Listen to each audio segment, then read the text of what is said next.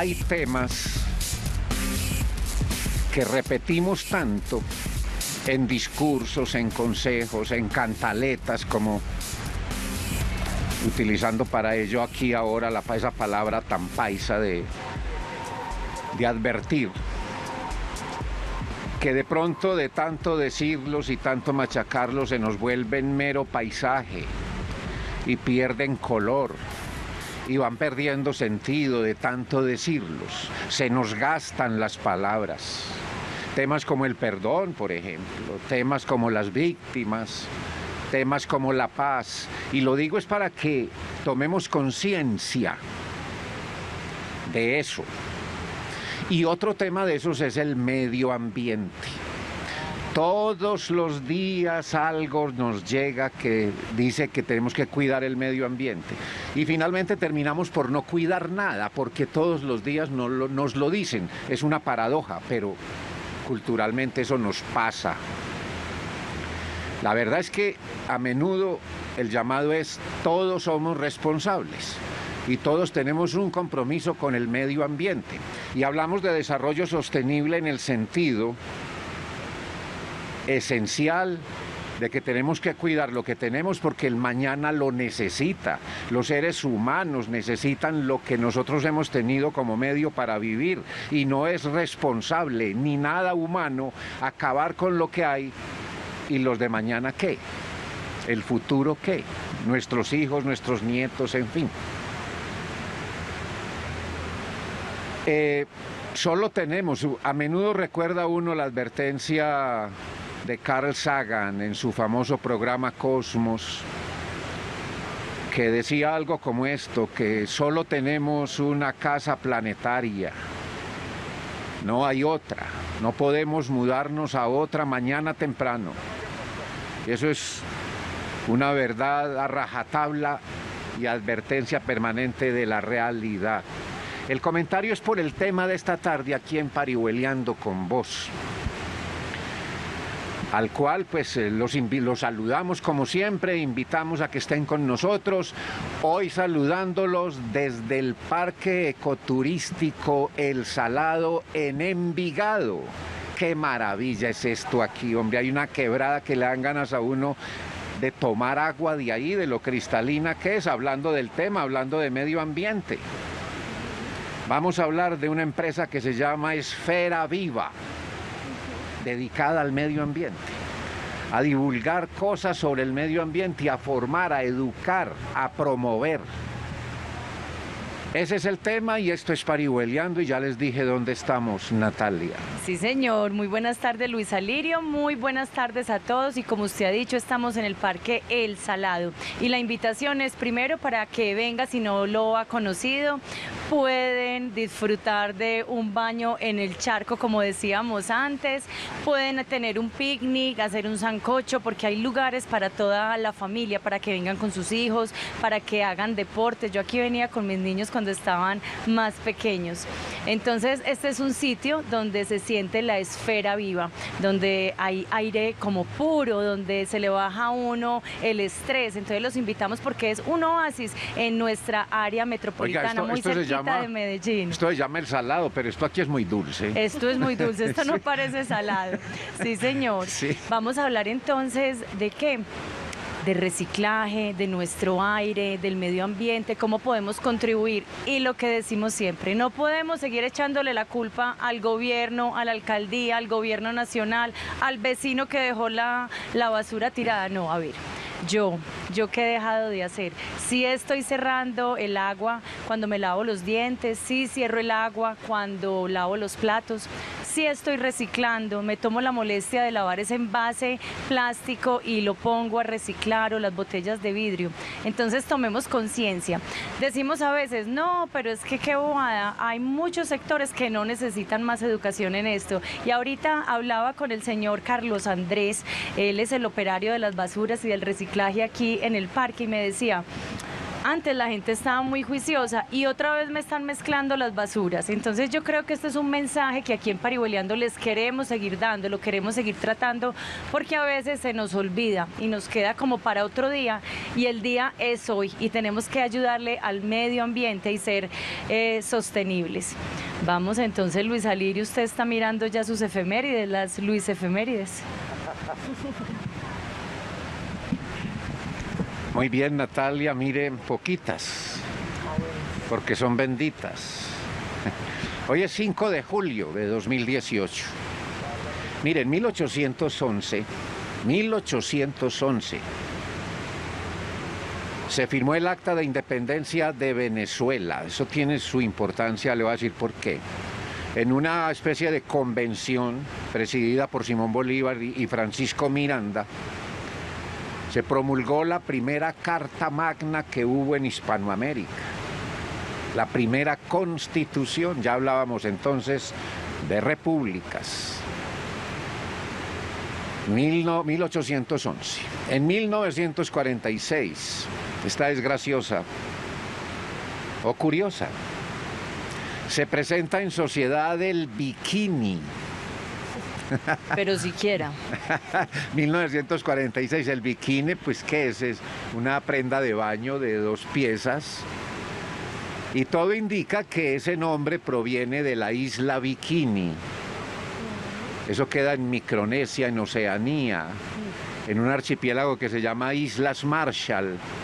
En esa isla Bikini en particular, que es como una especie de paraíso prohibido, porque allá Estados Unidos hizo algunas pruebas atómicas, de explosiones atómicas. Entonces ir allá es peligroso, pero creo que es de las cosas hermosas que hay en el mundo. Bien, en 1996 nació la oveja Dolly. ¿Sabe quién era la oveja Dolly? El primer mamífero clonado en la historia de la humanidad. En 1889 nació Jean Cocteau, novelista, poeta, pintor, cineasta, guionista francés, bastante conocido y reconocido. En 1883 falleció Joseph Niepce, no sé si será Niepce o Niepce. En todo caso era un francés considerado el inventor de la fotografía junto con Louis Daguerre. El apellido de Louis Daguerre viene la daguerrotipia, que es una técnica fotográfica por, la cual, em, por medio de la cual las imágenes obtenidas se fijan en metal, el daguerrotipo. Y en 1948 falleció otro gran escritor reconocidísimo francés, Georges Bernanos. Ahí tienen, señores, Natalia. Muchas gracias, Luis Alirio. Hoy estamos entonces, nuestra invitada es Valeria Zapata, ella es la directora de la plataforma Esfera Viva. Valeria es comunicadora social de la Universidad EAFID, se dedica al periodismo narrativo y digital enfocado a temas de medio ambiente, viajes y cultura. En el ámbito periodístico se ha desempeñado como editora del periódico Nexos de la Universidad EAFID en el año 2014. Valeria, muy buenas tardes, parihueleando con vos. Hola, buenas tardes a todos, muchas gracias por la invitación y bueno, muy contenta pues de estar aquí para hablar del tema que más me gusta, que es el medio ambiente. Empecé hablando solamente una cosita, que usted trabajó en Nexos de la Universidad de AFID, pero usted ha trabajado en otras partes y empieza con esta nueva empresa. Cuéntenos de su trayectoria. Em, bueno, digamos que mi trayectoria como comunicadora empezó como, como periodista, eh, con mucho enfoque en el tema cultural, eh, un poco el tema ambiental. Eh, y en 2015 trabajé en, varias, en empresas varias de Medellín, que es la empresa pues, de aseo de Medellín, como comunicadora de un proyecto muy bonito llamado Territorios Naranja, dedicado a crear cultura del aseo en la ciudad muy enfocado al tema de reciclaje, de transformación de residuos, de buena disposición de los residuos sólidos. Bueno, estuvimos como en muchas comunas de la ciudad. Eh, y luego dije, eh, quiero emprender y solo dedicarme al tema ambiental desde muchas facetas, como comunicadora, como periodista, como educadora. Y ahí fue que nació Esfera Viva en el año 2017 Eh, y bueno, hasta ahora, hasta ahora vamos con Espera Viva. Es una iniciativa que nació de tres personas, eh, mi mamá, mi hermana y yo. Eh, digamos que más allá de los lazos familiares también nos une el amor por todos los temas ambientales. entonces decidimos emprender emprender con esta iniciativa que empezó como un medio de comunicación digital enfocado a hablar de temas ambientales y que a la gente entienda los temas ambientales que suceden en la ciudad un segundito. sí. Perdón que la interrumpí. Yo pensé que, ya había terminado. Lo que les quería dar era el teléfono para que ustedes participen 332 3489. 332 3489. Hoy tenemos un nuevo teléfono y Luis, Alirio no les contó, yo tampoco les voy a contar, pero aquí tenemos una sorpresa hoy desde Envigado, desde el Parque El Salado, pero usted se tiene que quedar aquí en nuestro canal en Telemedellín para saber qué va a pasar. Luis Alirio, ¿usted estaba listo para preguntar? Sí, claro. Esfera Viva, un nombre que sugiere mucho, ¿no? Sí. ¿Qué es Esfera Viva? Es decir, ¿qué hace? ¿Cómo lo hace? ¿Para qué lo hace? ¿Enfocado a qué? Pues usted ya mencionó cosas, pero en realidad, en esencia, Esfera Viva, ¿qué es? Bueno, Esfera Viva es una organización que hace muchas cosas. Eh, pero muchas cosas enfocadas a una sola cosa, que es generar educación ambiental y es generar un Valle de Aburrá más sostenible. ¿Con quién? Con la ayuda de todos, porque es responsabilidad de todos generar su, sostenibilidad en la ciudad. Así que nosotros, pues como le contaba Natalia, empezamos con un medio de comunicación que es esferaviva.com y ahí empezamos publicando artículos, pero no artículos como eh, generando noticias, sino artículos muy atemporales, o sea que me puedo leer en cualquier momento y artículos profundidad, que yo me doy una sentada, me lo leo y cuando me lo termino de leer ya entiendo un tema por completo, como el tema del tráfico de fauna silvestre, como el tema de calidad del aire en el Valle de Aburrá, como el tema de las aves que habitan aquí, entre otros muchos que tenemos. Y luego eh, la gente se nos empezó a acercar y nos dijo, ay, yo quiero que ustedes hagan más cosas, quiero que hagan eventos para la gente y yo les quiero ayudar a hacer eso. Entonces nos empezaron a sumar voluntarios a este proyecto y ahí fue que empezamos a generar eventos de ciudad creados por ciudadanos y para los ciudadanos. ¿Cómo qué eventos? Hacemos conversatorios de diversos temas. El último que hicimos fue de quebradas, sobre la historia de las quebradas del Valle de Aburrá. Eh, hemos hecho conversatorios sobre la calidad del aire, sobre qué es comer ecológicamente, preguntándonos también sobre la sostenibilidad y qué es, preguntándonos por la cultura ambiental. También hacemos avistamientos de aves, por ejemplo, de avistamiento de fauna. Aquí en el mes de abril estuvimos en el Salado viendo un montón de aves hermosas que viven aquí. Eh, hacemos talleres de huertas, de huertas agroecológicas. Em, hacemos caminatas por las áreas protegidas del Valle de Aburrá. Eh, bueno, entre otros muchos, tenemos muchos eventos que se nos van ocurriendo pues en el camino y que precisamente las ideas nos las da la ciudadanía y este es el, el espacio Los nombres de las quebradas debe ser una charla muy interesante porque es que muy, hay nombres muy curiosos. Sí, y no solo los nombres, sino que eh, el evento y el conversatorio que hicimos, que fue muy lindo, lo hicimos en el poblado, era como preguntándonos por quiénes conocen la historia completa del Valle de Aburrá desde su formación. Y no hay una persona inmortal, pero sí hay un ser inmortal aquí y que son todas las microcuencas y el río Aburrá, el que conoce toda la historia completa desde los aburraes hasta lo que somos ahora. Entonces esa fue como la conversación que tuvimos ese día. Estamos parihueleando con vos y estamos hablando de un medio de comunicación independiente y digital, Esfera Viva, que le apuesta a nuestro medio ambiente. Estamos parihueleando con vos y ya volvemos después de este corte de mensajes institucionales.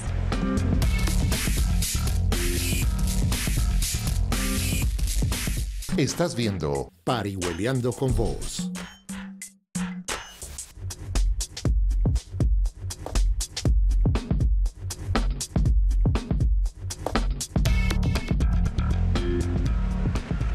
Esto es Parihueleando con vos. Estamos en el Parque El Salado, que es dulce, conversando sobre medio ambiente con Valeria Zapata, creadora de la empresa Esfera Viva, una empresa que se ha convertido en conciencia ambiental, por lo menos aquí de Medellín y del área metropolitana, y con ánimo de ampliarse a más personas aquí en este país, en América Latina, qué sé yo, Valeria, ¿en qué ambiente vivimos nosotros?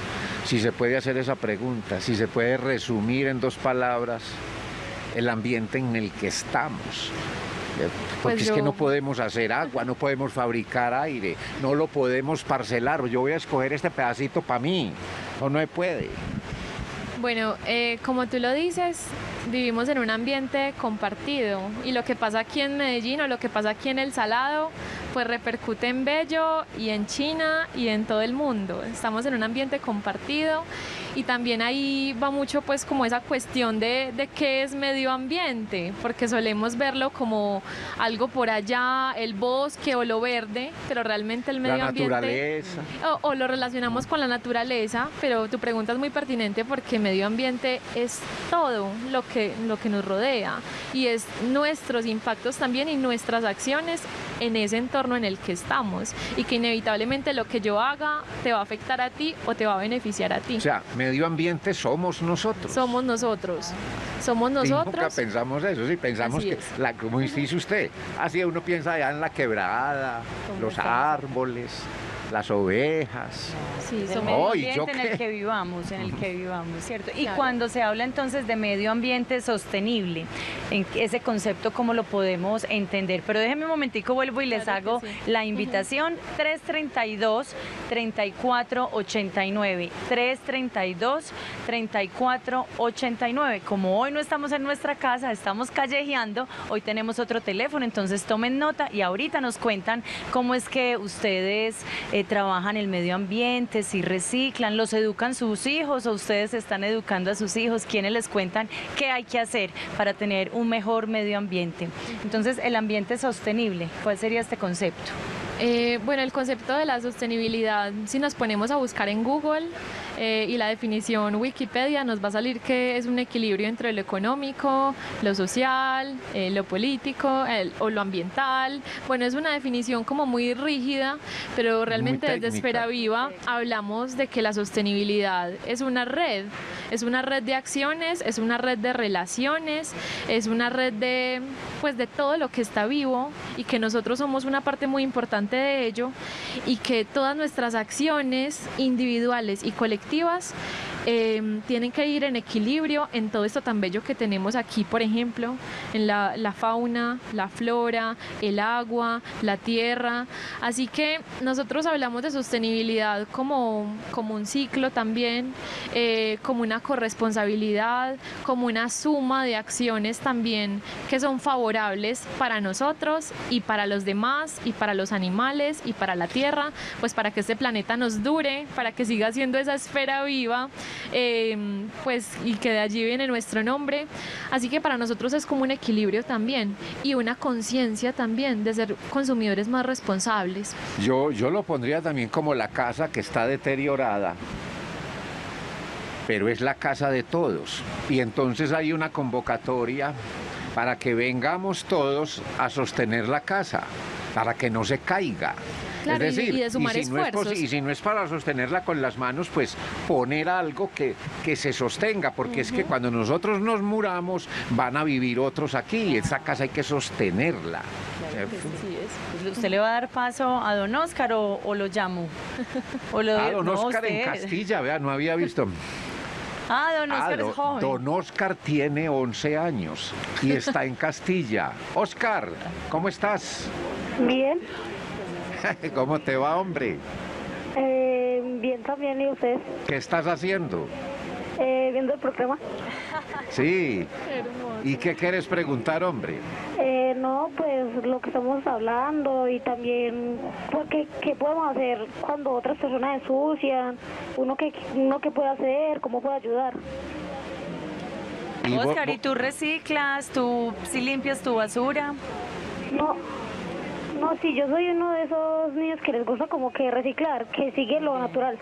Muy bien, excelente Oscar. Muchas gracias, gracias por parihuelear con nosotros. Maravilla que Oscar García, de 10 años, esté viendo parihueleando con vos en particular hoy con este tema en el que estamos llamados todos, todos, todos. Como decía usted al principio, no solo, no solo el presidente, los congresistas, el alcalde, No, es, que nosotros estamos en un estado de deterioro del medio ambiente que no es culpa del alcalde, ni del anterior, ni del presidente, y no de todos. Sí. Pero mire qué tan lindo lo que dice Oscar. Cuando uno ve que de pronto están tirando un colchón a la quebrada, que no están reciclando, un niño de 11 años, ¿qué puede hacer? ¿Qué puede hacer para no meterse en un problema, para que no le vayan de pronto a pegar, a, a regañar? ¿Qué puede hacer un niño para, para ayudarle a los otros? Eh, yo creo que Oscar y todos los niños de la ciudad tienen un papel fundamental y es dar ejemplo. Y dar ejemplo también desde decirle a los papás cómo es que se hacen las cosas también. Eh, y yo creo que un niño tiene una oportunidad muy grande y es que yo no creo que con un niño se pongan a pelear. Yo creo que Oscar eh, tiene la oportunidad de decirle al vecino cómo hacer las cosas de manera adecuada y que, y que el señor que lo está haciendo o la señora pues se pellizque, pero no se enoje con él, porque realmente Oscar pues está dando un ejemplo y un mensaje muy importante. Entonces yo creo que lo primero es dar ejemplo desde la familia, eh, desde los amigos y, como Oscar y como yo y como otras personas de la ciudad, hay mucha gente interesada en estos temas. Eh, y yo creo que también da mucho resultado juntarse con otros que aman el medio ambiente eh, y dar, dar ejemplo en conjunto y hacer acciones juntos. Y esas acciones también se pueden mostrar digitalmente y esa fue la forma de ustedes mostrar el mensaje que quieren entregar a la comunidad. Entonces, ¿por qué escogieron eh, la plataforma digital y entonces por dónde muestran sus mensajes? Bueno, nosotros decidimos ser un medio de comunicación digital y tener toda nuestra estrategia educativa, en principio por redes sociales también, eh, como Esfera Viva y desde nuestro sitio web. Pues en principio porque pues somos un medio de comunicación independiente, eh, no sería incoherente sacar pues un, una prensa en papel y realmente nuestro público está mucho en las redes. Nuestro público es un público joven, eh, pues de mi edad, de mi generación, entre los 20, 35 años, pero luego nos dimos cuenta que es para mucha más gente y que nos llega gente de otras edades. ¿Pero por qué? Porque también hacemos eventos a los que van los papás de esos jóvenes eh, o porque se dan cuenta por Facebook también. Eh, y bueno, como que se nos ha crecido el público, pero realmente quisimos como aprovechar todo, todo el potencial digital y todas las narrativas digitales para contar las historias de una manera más amigable. Tenemos otra llamada, Víctor Balvin desde Pajarito. Don Víctor, hace tiempos que no nos llamaba. Muy buenas tardes y parihueleando con vos. Ah, sí, muy buenas tardes Natalia, qué placer, señor Luis Alirio y a la invitada, qué interesante ese programa tan especial por el cual yo lucho tanto. a propósito de eso, me debes un invitado por ahí, Natalia. Ojalá sea muy pronto. Sí, señor, lo tenemos en la lista, ya tranquilo que está en proceso. También a veces es difícil eh, tener algún invitado, nos disculpan eh, porque a veces tenemos otros pues como en lista como le estoy contando, pero eh, su invitado está en proceso, don Víctor. Qué detallazo, qué detallazo y seguro que va a ser un programa hermoso. Pues no, felicitaciones de verdad, es algo muy interesante, muy bonito del cual yo participo y lucho tanto por ello. Incluso acá en Pajarito tengo una campaña sobre la protección animal y la parte del manejo de basura. Acabo de salir con mis perritos adoptados y veo que encuentro una, una bolsa de basura ahí ya incluso regada duele mucho porque ahí tengo avisos incluso de comparendos ambientales y eso reitera una vez más de que el problema en este planeta somos los humanos. Entonces a veces incluso nos, sentimos superiores a, nuestros hermanos los animales y somos el problema y falta mucha educación y los pocos que podamos pues eh, hacer un poco de nuestra parte, colocando nuestro granito de arena, pues va a amortiguar un poco el impacto, pero es un problema definitivo y no. Muchas gracias por permitirme decir estas palabras. Un placer de saludarlos y felicitaciones, muy amables por todo. Don Víctor, a usted muchísimas gracias por parihuelear con nosotros. Muchas gracias, don Víctor Balbín, en Pajarito. ¿Usted qué le quiere decir a don Víctor? ¿Cómo más puede trabajar él, sobre todo en la comunidad de Pajarito? Eh, bueno, yo le diría a Víctor y, quiero como compartirles un poquito el lema de Esfera Viva. Eh, y es que nosotros iniciamos, por ejemplo, con los conversatorios y los eventos que hacemos e incluso con los artículos que hacemos, invitando a la gente a participar y a tomar acción bajo la premisa de que tú sabes algo que el otro no sabe y que Esfera Viva es el espacio para compartirlo o que desde tu barrio también lo puedes hacer. Y es como poner al servicio nuestros conocimientos, nuestra profesión, nuestros saberes también del campo, nuestros saberes también ancestrales al servicio del bienestar de una comunidad. ¿Cómo? Dando ejemplo. Yo creo que ese es el primer paso. Si uno ya está apropiado de algo, eh, es tomar acción a nivel individual y dar ejemplo porque eso a largo plazo se replica. Y Esfera Viva es una prueba, es una prueba de eso porque empezamos tres y en un, un año y medio ya somos 30 voluntarios comprometidos también con esta iniciativa y así hay muchas más personas en la ciudad. Entonces es tomar acción, es tomar acción e invitar a otros a hacerlo. A ver, es que lo que llama la atención de Esfera Viva es como una posibilidad de encontrar uno respuesta a cuando se hacen llamados de que yo soy responsable también del medio ambiente. Entonces, cuando hay problemas o cuando se habla en general del medio ambiente y de desarrollo sostenible y de la protección que debemos tener, nos hablan de que los bosques, que se destruyen tantas hectáreas de bosques, que los ríos les caen tantas toneladas de basura al día en el mundo. Entonces uno dice, ¿y yo qué puedo hacer por un río? ¿Y yo qué puedo hacer por un bosque? ¿Qué puedo hacer yo por la selva amazónica? Pues nada, ¿cierto? Pero entonces no se me ocurre pensar qué puedo yo hacer, por pequeño que sea, en mi cotidianidad. Un taxista se expone a ese mensaje y dirá eso, ¿cierto? ¿Qué puede hacer un taxista como aporte al medio ambiente?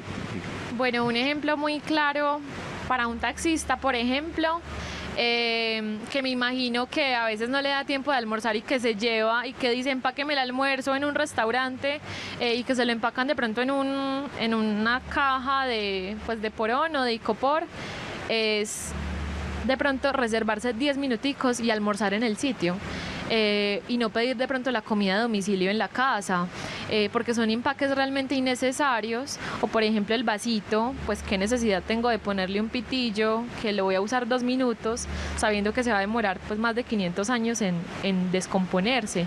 Entonces son pequeñas acciones, pero que a largo plazo pues marcan un montón y si muchas personas, como ese taxista, dejaran de comprar comida envuelta en icopor o en plástico. Y si todo el mundo hiciera eso, pues ya no necesitaríamos plástico. Entonces son como acciones que uno empieza a hacer la diferencia porque muchos empezamos a hacer la diferencia también. Es un granito de arena que, se va aportando. Un pitillo es capaz de matar una tortuga. Claro que sí, sí eh, Justo salió una noticia eh, este fin de semana que una ballena en, pues en el Océano Pacífico murió porque se tragó 40 bolsas de plástico. Mm. Trataron de operarla, pero realmente pues el plástico es muy dañino y el plástico proviene del petróleo, o sea que cuántas sustancias tóxicas tendrá. Entonces hay pequeñas acciones como el hecho de rechazar una bolsa, no solo porque me la van a cobrar, sino porque realmente no la necesito, se la voy a usar en el trayecto de la tienda de la esquina a mi casa. Realmente necesito esa bolsa plástica. Son pequeñas acciones que cuentan. Muy bien, uno de los artículos que usted tiene en su plataforma actualmente es un artículo sobre el aire, la calidad del aire en Medellín. ¿Qué fue lo que encontró? ¿Y cuál es como el consejo que le da a los ciudadanos? ¿Qué es lo que tenemos que hacer? Eh, bueno, en Espera Viva hemos sacado varios artículos sobre la calidad del aire, eh, pero más que dedicarnos a, criticar, lo que nos hemos dedicado es a entender, a entender por qué. Y, la mayor contaminación en el aire proviene pues de los vehículos eh, motorizados, de los carros, de los camiones, de los buses, de las motocicletas, de las volquetas. Em, así que en esos artículos nos dedicamos no solo a, identificar cuáles son esos, como esas fuentes más contaminantes, sino a preguntarnos cada uno qué puede hacer también. Eh, y es preguntarme cómo me puedo movilizar también de otra manera. Eh, y es preguntarme por las rutas de bus o de metro más cercanas o que Medellín realmente es una ciudad muy pequeña y que los trayectos en bicicleta pues cada vez refrescan más pues en tanta taco que hay todo el tiempo. Así que es también como, como proponer otras formas de movilizarnos, por ejemplo, y, saber que, qué rico dejar el carro o la moto en la casa y probar un día como me va en bicicleta o incluso caminando si el trayecto es muy corto o montarme al bus y compartir un rato ahí y uno conoce hasta y escuchar la serenata, que uno también pasa muy bueno cuando escucha la serenata. Este tema no lo vamos a terminar aquí, Valeria. Vamos a seguir parihueleando y sobre todo de la calidad del aire que tanto nos interesa. el teléfono hoy es 332-3489 y recuerden que para ver la medición del aire podemos eh, buscar en el CIATA y el área metropolitana del Valle de Aburrá todas las mediciones actualizadas al día en el momento. Estamos parihueleando con vos y ya volvemos después de este corte de mensajes institucionales.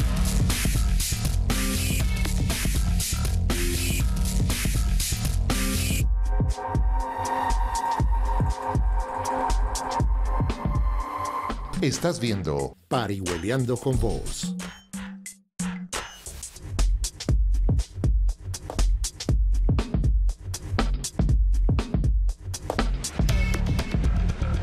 Esfera Viva. Ese es el nombre de una empresa con cuya fundadora estamos hablando. En particular de protección, cuidado del medio ambiente, porque es a lo que esta empresa se dedica. Y la responsabilidad que tenemos todos en un tema de esta naturaleza. Mire, ayúdenos a entender o a ver cómo, cómo es que uno como comunidad, como ciudadano, digiere el lenguaje con el que le hablan a uno cuando hay problemas y cuando hay alarmas. A uno le hablan de la alarma roja, verde, azul, amarilla, ¿cierto? Y uno se queda viendo un chispero con eso, porque uno a simple vista no ve eso, ¿cierto? Entonces, eh, ah, bueno, entonces estábamos en alarma amarilla o naranja o roja, y hay un día sin carro y ya se resolvió el asunto. Que el problema de la contaminación del aire se resuelve de la noche a la mañana y yo me quedo tranquilo y ya no pasa nada. Ayúdenos como, como, como a generar más conciencia en ese sentido, porque las noticias se las lleva a veces el viento. Bueno, con el tema de calidad del aire no es un tema eh, y no es una problemática que se vaya de la noche a la mañana. Bueno, día sin carro y al otro día estamos bien. Sí, puede que bajen los niveles de contaminación, pero pues no se va a resolver el problema, ¿cierto? Es como cortar una malecita, pues una florecita, pero la raíz sigue creciendo. Entonces, para lograr un cambio de verdad, pues tenemos también que evaluarnos y autoevaluarnos y, y, pensar qué es lo que estamos haciendo mal como personas y, y como ciudadanía. Em, y como lo hablábamos ahorita, pues con el tema del aire, el 80% de las emisiones contaminantes vienen de la forma como nos movilizamos en el Valle de Aburrá. Eh, teniendo en cuenta que es un valle estrecho, que es un valle con montañas altas, que en meses como en marzo y como noviembre el aire queda, el aire contaminado eh, por condiciones meteorológicas queda más concentrado dentro del valle, nosotros tenemos también que pensar cómo nos vamos a movilizar de una manera más sostenible, no solo en marzo, no solo en noviembre, sino también por nuestra salud, por la de cada uno, por la de nuestra familia, por la de nuestros amigos, eh, pues cómo, cómo vamos a, tomar acción. Lo que le pregunté no va desde lo luego. voy a interrumpir porque tenemos llamadas de hace ratico. Ah, doña Ana Felisa desde Aranjuez nos está llamando. Aquí está con nosotros. Bienvenida, Parihueleando con vos. Buenas tardes.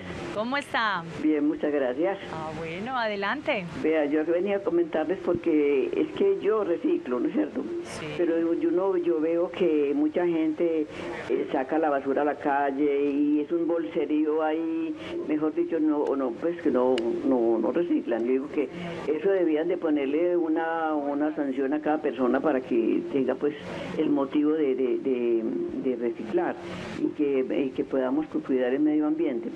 Y otra cosa que yo les digo es que mucha gente saca el perrito a la calle y cogen el estiércol del perro, las ACS, y, y cogen y, y, cogen la bolsita y la tiran en cualquier parte, la van tirando por ahí. Y entonces no hacen nada porque recogen la, la bolsita y cuando uno no lo está viendo, llegan y dejan la bolsa en cualquier parte. Y uno no les puede decir nada, ¿cierto, doña Ana? ¿Cómo les va a decir? No se, no se, puede meter uno en un problema, pero sí, señor, usted tiene toda la razón. Qué bueno poder tomar eh, medidas ciudadanas, acciones, poder decir algo con la tranquilidad, pues que no, le no se vaya a meter uno en un problema. Vamos a ver entonces cómo podemos solucionar eso, cómo podemos ser modelos. Usted decía primero que todo tenemos que ser modelos, pero también bebedores. Doña Ana, muchas gracias por parihuelear con nosotros. ¿Usted qué le quiere decir a Doña Ana? Em, bueno, yo creo que con lo de las excretas de los perros, pues lo primero es eh, pues que ni siquiera eh, empacarlo en la bolsa y llevárselo para la casa sería una buena opción porque realmente pues estamos usando una bolsa plástica para meter un residuo que es orgánico y que se puede descomponer en la tierra. Entonces, em, yo he conocido varias iniciativas desde las juntas de acción comunal donde incluso he participado, por ejemplo, en la de Villa del Socorro, donde empezamos a hacer una paca digestora, que es un sistema de, descomposición de residuos orgánicos, y esa paca digestora la hicimos para el barrio y para que el barrio la usara. Y, por ejemplo, una paca digestora para las excretas de los perros puede funcionar muy bien. Pero eso como es, es una caja con arena y uno haciendo pisitos como es cuando un cubo, es un cubo prensado con residuos orgánicos, eh, por ejemplo, los residuos de la cocina, de los huesitos de pronto de la carne, eh, residuos vegetales, pero también los residuos de jardín que se producen en los parques y también las excretas de los perros y que esto se prensa en un cubo de madera de cuatro caras, se prensa muy bien, se quita el cubo y con esto en seis meses pues el cubo ya desaparece porque ya, ya se descompone en la tierra. Las personas que quieran aprender a hacer estos cubos, digámoslo así, los pueden llamar a ustedes y ustedes los asesoran. En Esfera Viva tenemos un artículo dedicado solamente a explicar cómo se hacen las pacas digestoras. Se pueden meter a esferaviva.com, buscan ahí en el buscador, ponen paca digestora. Entonces yo creo que también que desde los barrios se pueden hacer esas iniciativas y promover la participación de otros vecinos y promover también soluciones. También lo que hablábamos es que no tenemos que esperar a que, a que la policía sancione o a que la alcaldía llegue con alguna campaña, sino que se genera un ambiente muy bonito también cuando desde la comunidad se crean ese tipo de iniciativas y de soluciones. Pues tenemos una serie de temas pendientes con esto, pero es que yo quería hacer una aclaración cuando mencioné lo de las alertas roja, verde, amarilla o el día sin carro, pues que no es que nosotros o que uno esté contra esas medidas ni contra ese lenguaje que debe existir y los técnicos y quienes saben lo manejan.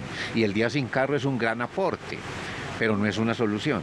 El caso es que a lo que quería ir es como al uso del lenguaje para que cada vez, en, en función de justamente de crear conciencia porque a veces mediante los medios el lenguaje no es claro. Es como en la economía. El periodismo económico creo yo que ha dejado enormes vacíos y la gente no entiende. ¿Cierto? un simple ejemplo. Un titular dice, la leche subió el 2%. Vaya a ver si un ama de casa entiende eso. A ella dígale, la leche subió 3 pesos. ¿Cierto? Pues.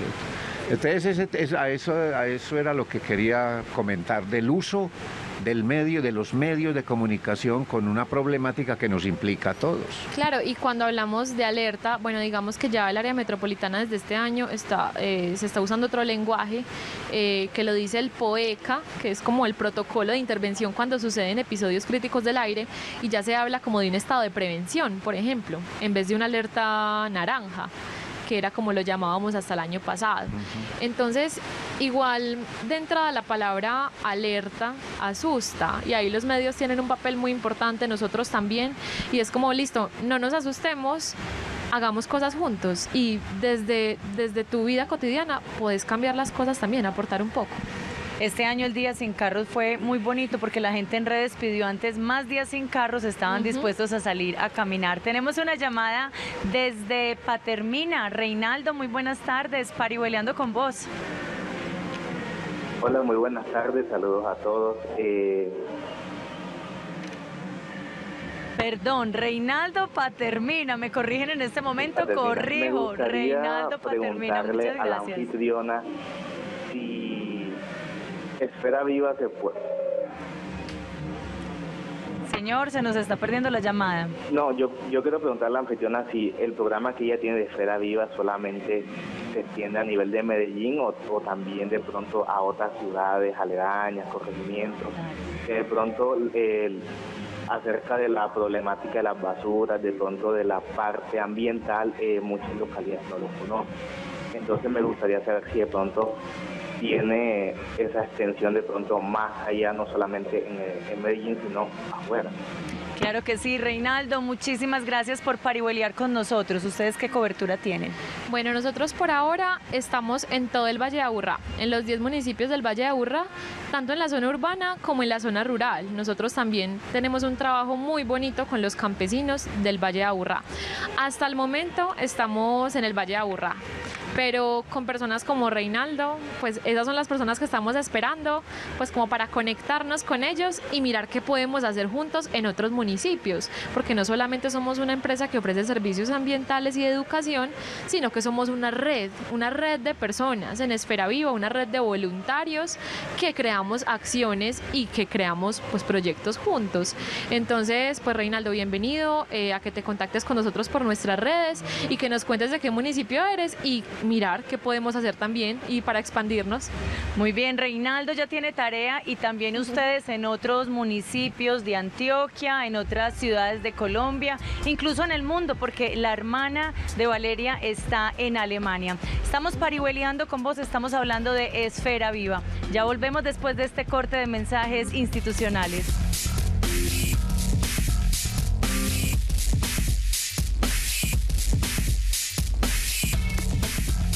Estás viendo Parihueleando con Vos.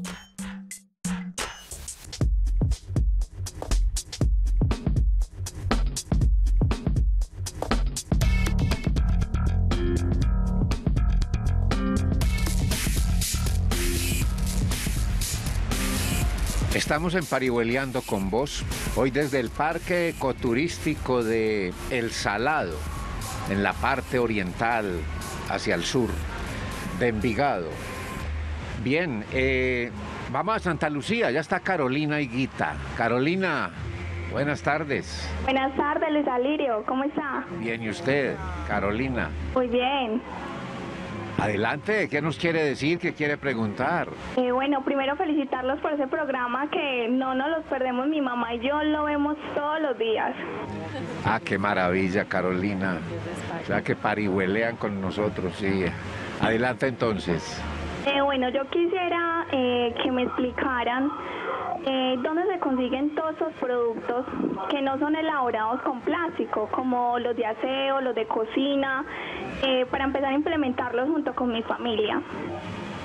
¿Dónde se consiguen? Por lo menos las bolsas.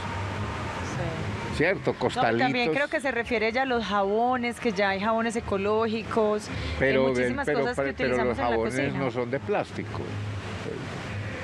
¿Dónde se consiguen Bueno. estos productos? Gracias. ¿Usted le dio las gracias a Carolina? ¿Ah? ¿Le dio las gracias? Sí, claro, Carolina, gracias en Santa Lucía y ahí estamos conectados todos los días a las 4 de la tarde. Eh, bueno, yo a Carolina le diría, pues uno, que hay productos que ni siquiera hay que reemplazar, porque hay productos que realmente no necesitamos. Eso es uno. Hay- nosotros a veces compramos de más y por ejemplo en el baño, que es como sagrado para uno, uno suele tener un estante lleno de cosas. Entonces yo creo que lo primero es preguntarme como que listo, ¿qué es lo que de verdad necesito? Porque solemos tener el aceitico para tal, la cremita para este dedo, este para esta uñita y bueno, es como saber como realmente qué necesito. Y hay baños muy básicos que es un jabón, eh, de pronto un shampoo, eh, una esponjita y ya. Entonces hay unos que realmente es, bueno, primero preguntarnos qué, qué es lo que realmente necesitamos. Y para lo que realmente necesitamos, por ejemplo, un cepillo de dientes, que es inevitable, eh, hay, hay cepillos de dientes que ya vienen en, en madera, que no es en plástico, sino que es en maderita. Eh, hay marcas independientes están sobre todo, pues yo conozco muchas en Instagram, pero pues creo que no es el espacio para, para hacerle publicidad a, a, ellas, pero nos puedes, por ejemplo, hablar, hablar a Esfera Viva y te podemos como aconsejar. Em, pero es como de buscar también, o sea, hay, hay marcas que están ahí que están opacadas por las grandes marcas o por los supermercados grandes, pero también no es solo preguntarnos por los productos de plástico, sino también por las cosas que consumimos, por ejemplo los vegetales, las frutas, eh, pues el pollo, si comen carne y también es preguntarnos por eso, porque el hecho de que sean verdes no quiere decir que sean saludables, porque también tienen un montón de químicos, porque pasan por unos procesos de, fumigación.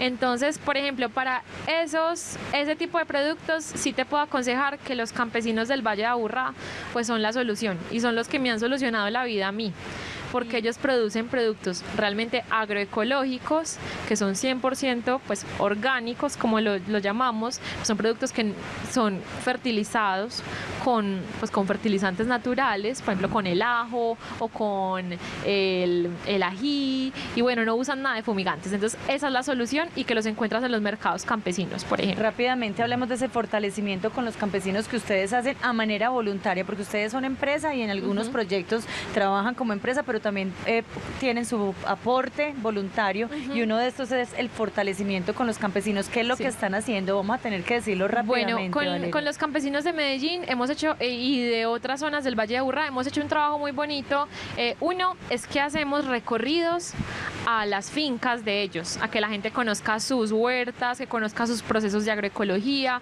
que conozcan cómo producen ellos mismos el gas para cocinar en su casa, que conozcan que tienen paneles solares, hay unos que son muy innovadores. Y también lo que hacemos es que eh, con algunas universidades con las que trabajamos, eh, los estudiantes, por, pues por ejemplo mi, mi mamá que es, es, docente en la Escuela de Ingeniería en la Universidad de IA y en la Universidad de AFIT, los estudiantes de ella, eso es una prueba piloto que hemos hecho, han tenido la oportunidad de hacer prácticas sociales y ambientales con los campesinos de los corregimientos de Medellín, por ejemplo en San Cristóbal. Entonces ellos les han ayudado, por ejemplo, a ver su parte de costos cómo están, porque son campesinos que tienen productos perfectos, de excelente calidad, pero que a la hora de venderlos no saben ponerles un precio y que son mejores que cualquiera que uno puede encontrar en un supermercado. Entonces ellos les han ayudado a evaluar y a comparar como listo, esta cebolla vale tanto en el mercado, usted la debería vender a esto. Y ellos se sorprenden un montón porque ellos eh, le han puesto unos precios más bajos, pero que con esta ayuda de esas personas eh, ellos han, saben ya administrar mejor sus productos. Algo sobre lo que debe, deberíamos poner mucha atención, me parece, es que cada vez hay más gasto de energía y, no solo la que está conectada, la que uno toma de la corriente, sino de pilas, las pilas contaminan. Es que ahora hay hasta cepillos de dientes eléctricos, hombre, con pilas, hasta para afeitarse uno, para peinarse. Hay, hay cosas para planchar el pelo. ¿Usted con qué se hace los crespos, por ejemplo? No creo que con hago con los dedos.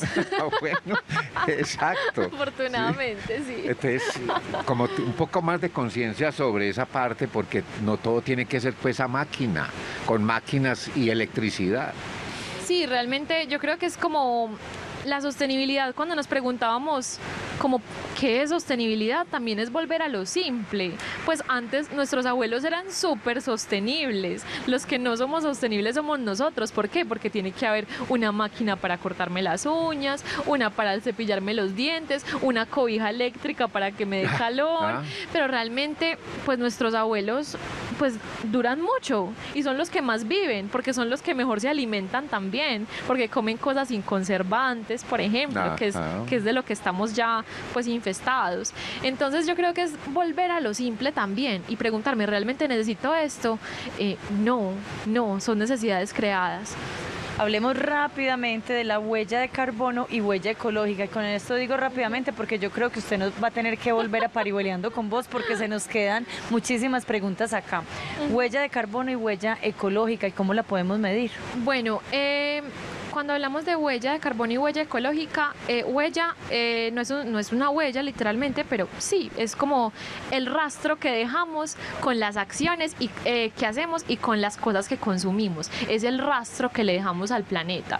en el caso de la huella de carbono es qué rastro le dejo al planeta por las cosas que consumo o por ejemplo en el carro que me movilizo, cosas que requieran de combustibles fósiles, combustibles fósiles como el petróleo, por ejemplo como el gas natural, que provienen de, de procesos extractivos en la tierra y cosas que tiene la tierra adentro y, y que son combustibles que se demoran miles de años en, en, pues en producirse. Señor, se nos acabó Nos el tiempo, vamos. Luis. Hombre, tan bueno aquí, aquí debería ser parigüeleando todos los días.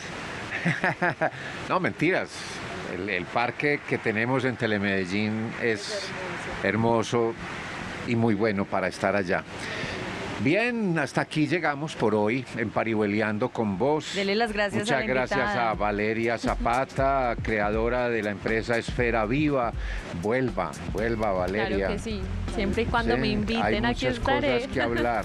claro que sí. Y se quedan con Telemedellín y con la sorpresa a las seis y media en Vivir Mejor, que es lo que está pasando aquí en el Parque El Salado. Estábamos entonces parihueleando con vos. Nos vemos mañana. Chao, chao. Thank you.